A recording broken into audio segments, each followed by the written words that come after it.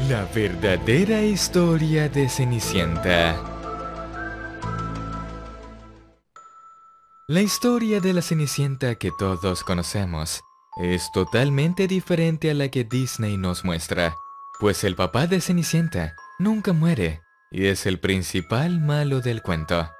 No existe una hada madrina, no hay zapatillas de cristal y mucho menos termina en un final feliz. Aunque hay varias versiones del cuento de la Cenicienta, la de los hermanos Grimm es la historia más parecida. Sin embargo, cualquiera de las versiones tiene tragedias de por medio. En el cuento de Cenicienta, cuando ella era pequeña, su mamá fallece y al poco tiempo su papá se vuelve a casar con una mujer mala que trae consigo dos hijas muy bonitas, nada feas como se menciona en la película. En esta versión, el papá no fallece. Cuando se va de viaje, él regresa y le trae a sus hijastras sus joyas y ropas carísimas. Y a Cenicienta le trae la ramita que le pidió. Pero no era un buen padre como lo conocíamos. Era malo. Y junto con la madrastra y sus hijas, ocultaba a Cenicienta y la trataba como su sirvienta. Desde que la mamá de Cenicienta falleció, iba todos los días a su tumba a llorarle y a platicar con ella. Y allí es donde planta la ramita que le regaló su papá y la iba regando con sus lágrimas todos los días, haciendo que se convirtiera en un árbol enorme. Cuando éste creció, un pajarito blanco apareció y era ese pajarito quien le daba lo que Cenicienta pedía, no una hada madrina como lo conocíamos. Cuando llegó el día del baile, que por cierto, no era una noche como en la película, sino que eran siete noches seguidas. Cenicienta hizo lo posible por ir, pero por supuesto de ninguna manera la madrastra la dejó salir. Pero como tenía su pajarito de la suerte, le consiguió un vestido precioso y unas zapatillas envidiables.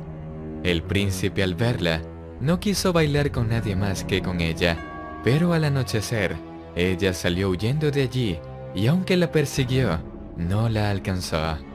Su papá, al sospechar enojado, fue a buscarla pero la encontró llena de polvo, con sus ropas todas sucias y sus sospechas se esfumaron.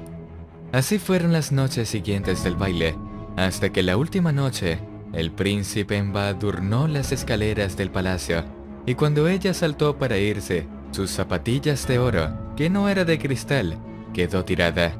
El príncipe la recogió y al día siguiente fue a la casa donde veía que se escondía aquella muchacha, pues en este cuento, él sí logra ver donde ella desaparecía cada noche. Al llegar dijo que se casaría con quien se probara la zapatilla y le quedara. Las hermanastras tenían los pies muy bonitos, pero no eran tan pequeños como los de Cenicienta, por lo que al probárselos y no caberles, la madrastra le dijo a una que se corte el dedo gordo total, que no necesitaría caminar tanto en el reino. Ella lo hizo y le quedó la zapatilla.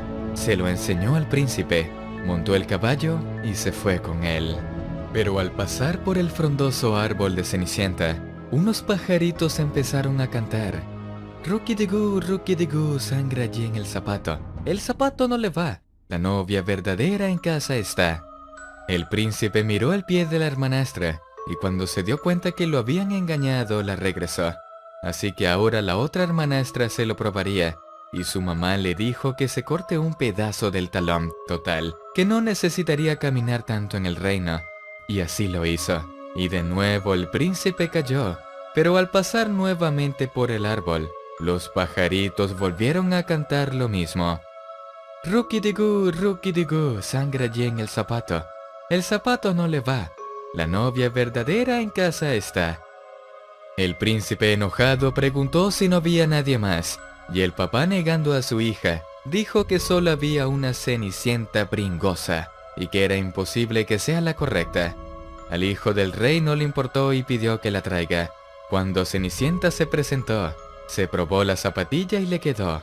Ahora sí era la verdadera y al pasar por el árbol frondoso, los pajaritos cantaron que si era ella y se pusieron en cada lado del hombro de Cenicienta para irse con ella. Al llegar el día de la boda, las hermanastras fueron castigadas, pues al presentarse hipócritamente a la ceremonia, las aves vengativas le sacaron los ojos y fueron condenadas a la ceguera para siempre.